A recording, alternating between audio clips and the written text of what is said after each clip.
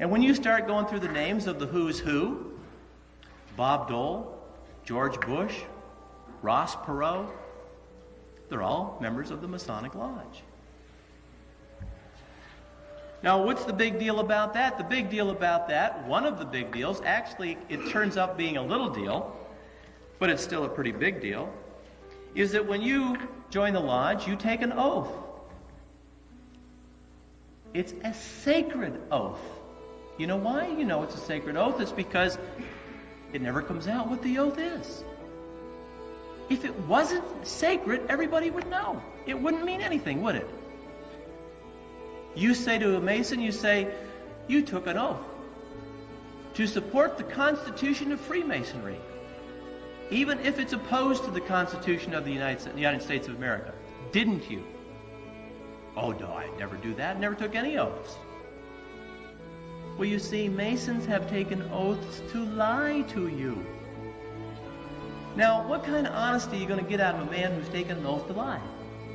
Hello?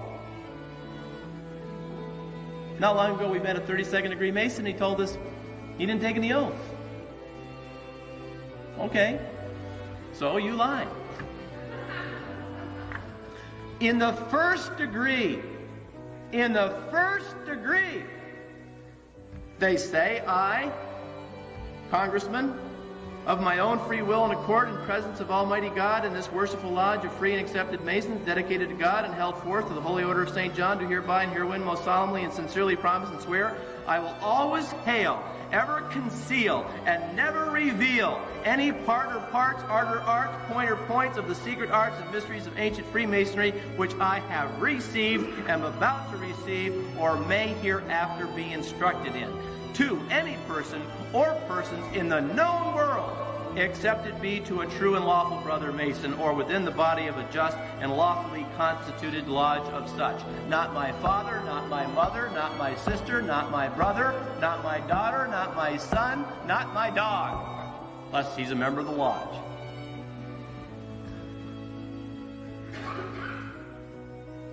In the third degree, the Mason promises he says, Further do I promise and swear I will obey all regular signs, summonses, or tokens given, handed, sent, or thrown to me from the hand of a brother master mason.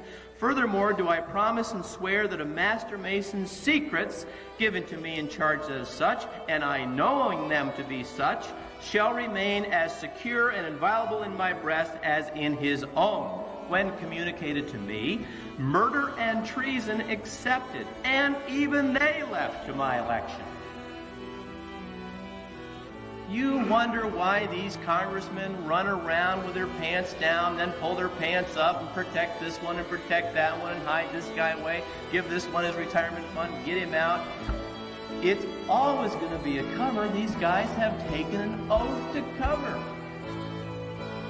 There is no Republican Party. There is no Democratic Party. There never was a party except for the Masonic Party. There is no ABC. There is no CBS. There is no NBC. They all came out of David Sarnoff's RCA, who was a Mason.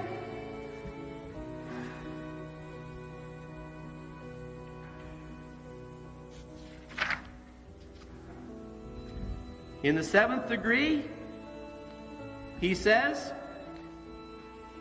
The oath, I promise and swear I will not wrong this chapter of Royal Arch Masons. Later on, I further promise and swear I will not speak evil of a companion Royal Arch Mason behind his back nor before his face, but will apprise him of all approaching danger.